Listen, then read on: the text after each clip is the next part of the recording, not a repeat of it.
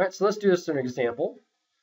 So we got uh, the modulus is 10 times 10 to the sixth psi, the moment inertia of 10,000 inches to the fourth power. Uh, one kip per inch uh, from points A to B, and we got 100 uh, kips applied right at the middle between B and C, 50 inches um, at the center there versus the 100 inches crossed and 200 inches here between A and B. And we want to figure out what are the deflections at points B and point C and the reactions, the reaction forces too. All right. So if we look at the solution, we want to, first of all, we got to break the sucker up. We got to discretize this thing. Uh, so we're going to have one element between 1 and 2, and another element between nodes 2 and 3. All right. So put a node at point B to simplify the load matrix, because we want to find the, the, the deflection at node 2, so we might as well do it right there, and that's where the forces change as well. The other thing to keep in mind is we want to break these elements such that they match the loading conditions available in the table we just looked at. All right, so again, if we go back to that table, whoop, right here, right? If hopefully we can break it up so it matches the things in here so we can grab the values right off here and use these uh, readily within our, our uh, matrix. All right, so there we go. Right, so the form uh, of the beam element stiffness matrix from before is this. So can generic form for any beam, for any beam element.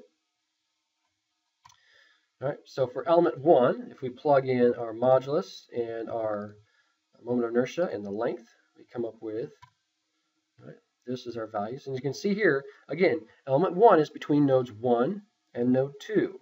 So here we got our indices. We got uh, node one, lateral displacement, node one, um, rotation, node two, lateral displacement, node two, rotation. And we can kind of put those across the top as well. So let's go see that in, in uh, Mathcad, and then I'll come back here. All right. So in Mathcad here, you got to make sure you read this note here at the top. So this is, again, this is in our um, example, uh, empty example here. The reason for not including units, so right here, I don't have any units like I did last time with the uh, axial members or with the, I guess the last time I did it was with the, um, with the trusses. So we're not including units because the stiffness matrix for beams has both displacement, the lateral displacement, and rotation aspects. That's two different unit systems, right? Displacements in length and rotations in radians. So therefore, the units are not consistent throughout the entire matrix. And this lack of consistency becomes a problem when multiplying the stiffness matrix by the load matrix, right? where the load matrix is force versus uh, the different types of units in the K matrix. So here we're just going to leave off units. So modulus doesn't have units. Um, inertia doesn't have any units. So think of this almost like ANSYS, right? When we put stuff in ANSYS, there's no units displayed, so we had to be very consistent in how we, we, we implemented things here. So same deal now with MathCAD, analyzing beams, got to be consistent, got to be careful with, with our applying our loads here. All right, so what I got here is my uh, modulus, my moment of inertia. Here's my distributed load, so uh, one kip per inch, and my point load of was 100 kips. All right. So here's my generic stiffness matrix. Let me close this off here. Here's my generic stiffness matrix for beams, so EI over L cubed. All right, so E, I, and L. So the reason I did this is because now I can plug in any E, any I, and any L. So even if E would change, I can I can plug it in and solve for that. All right, so let's see. For element one, we got a length of 200. Right, we're defining that as 200 inches.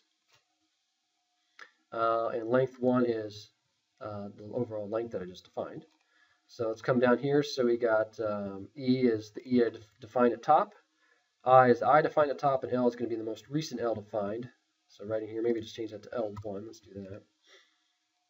Right, and go ahead and equals on that. Right, so 1.5, 1.5, 1.5, and 2. Make sure we're lined up with what we got. Uh, 1.5, 1.5, 1.5, and 2. Um, we got 15 times 10 to the sixth. Let's see what we got here. So we got 15 times 10 to the sixth. If we moved one to the to the right, we'd have 10 to the sixth. All right, that looks good. And this one is 10 to the sixth. We moving it the other direction, so that looks good.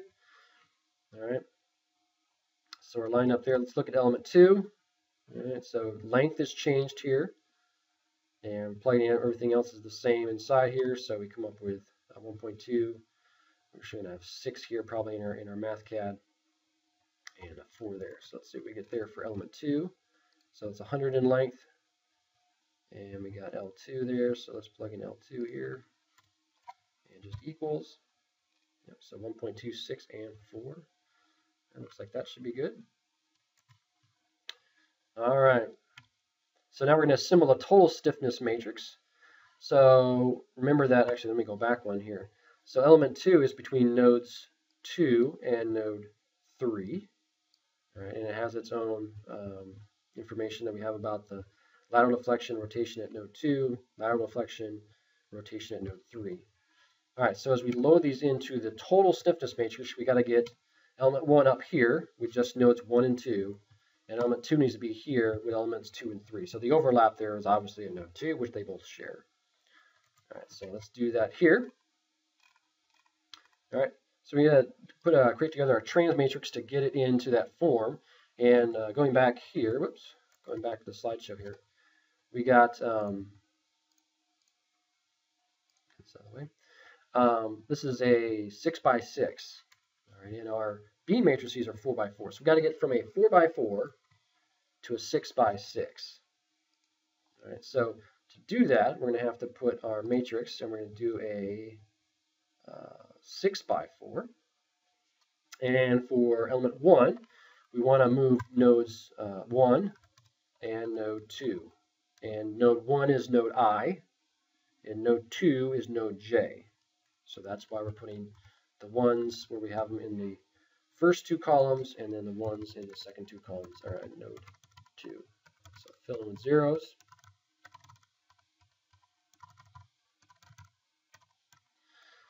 Looks good there. All right, let's see what this guy comes out to. Hopefully it's not too crazy. Yeah, it gets off the page a little bit. All right, so we got zeros down here. That looks good there.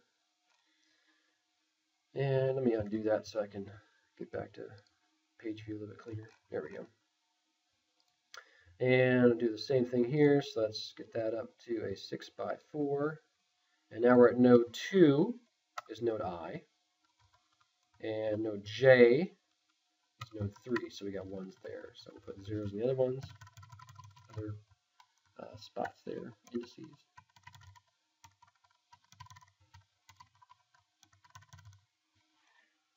All right.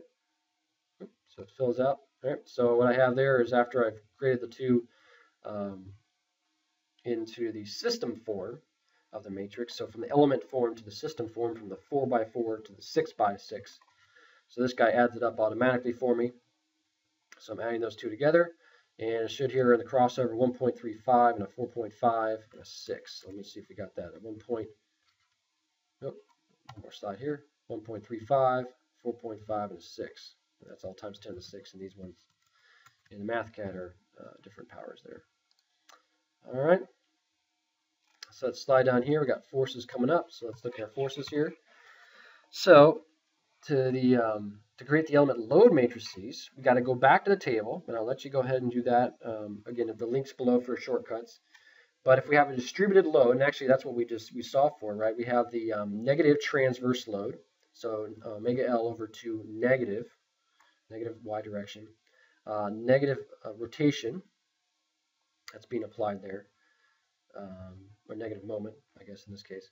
Um, negative transverse force at node J, in this case node 2, and positive moment being applied at uh, node 2 as well. All right, so plugging in for omega and L, so omega being 1 uh, kip per inch and L being the 200 inches, we come up with um, 100, 3,333, um, and 103,333 at the node J.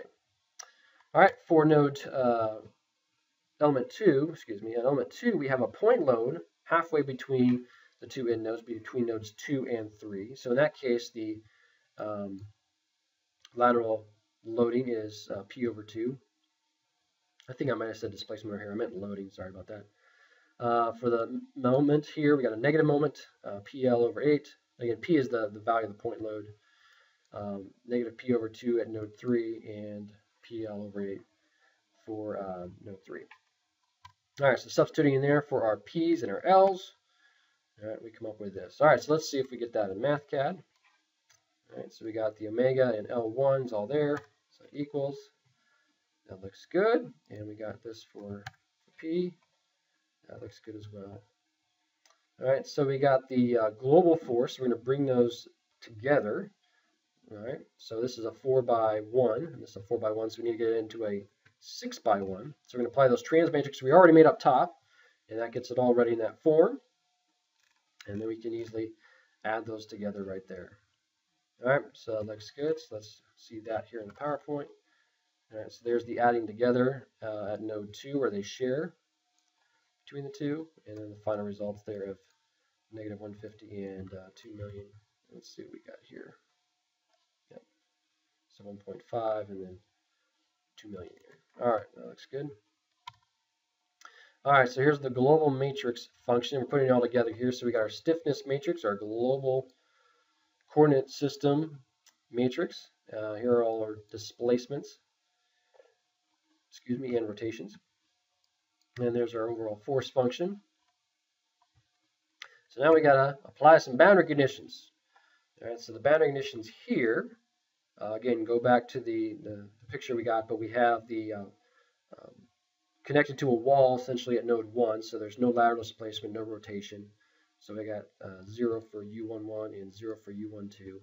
And then we had a rolling um, connection going on at node 3, so we had no uh, lateral displacement there as well. So in that case, we're knocking out the first row and column, knocking out the second row and column, and we got to knock out the fifth row and column. All right, so if you remember how to do that in MathCAD, so we'll come down to doing boundary conditions.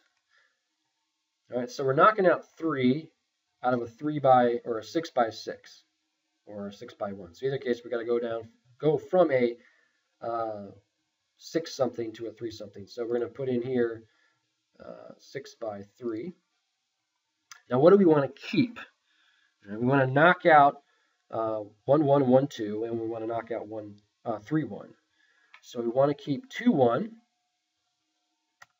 right, and we want to keep 2, 2. We don't want to keep 3, 1. We want to keep 3, 2. So that's where we're going to put the 1s.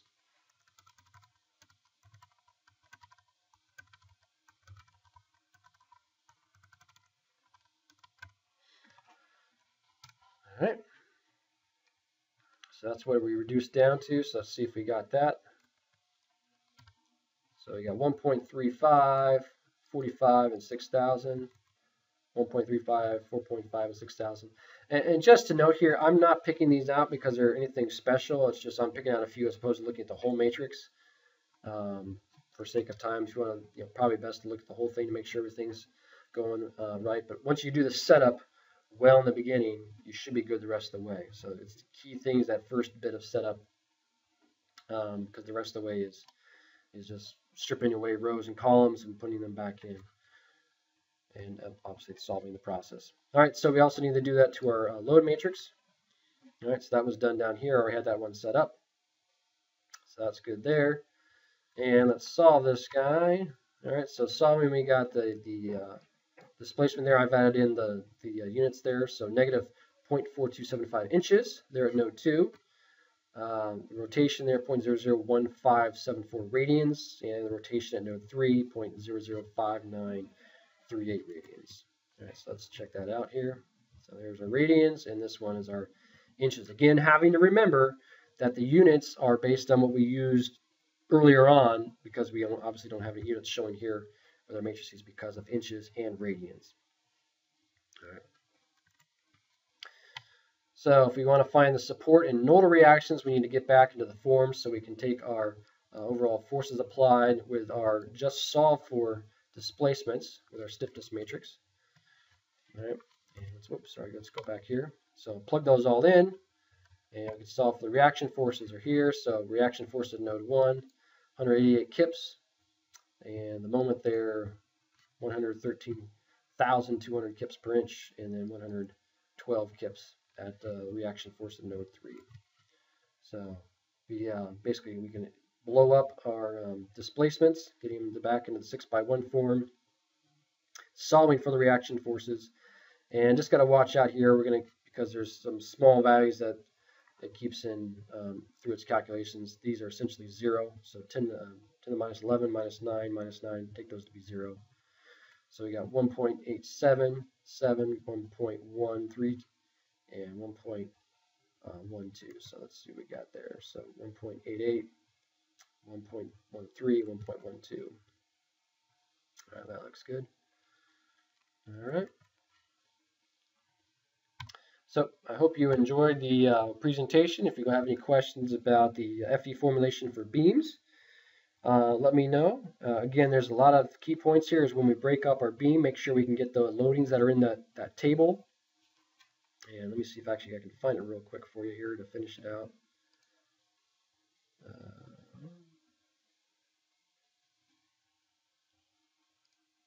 oh, there we go. So we'll go back up to our table here. So yeah, if you can get the equivalent loadings, you can have your nodes at uh, one end or the other of a distributed load, or one end or the other of a point load, or one end or the other of a distributed uh, gradual changing load. All right, and that'll help you out a lot as you develop your develop your formulation. All right, so again, any questions below in the notes, and uh, hope to see you guys later in the next uh, presentation. Thanks.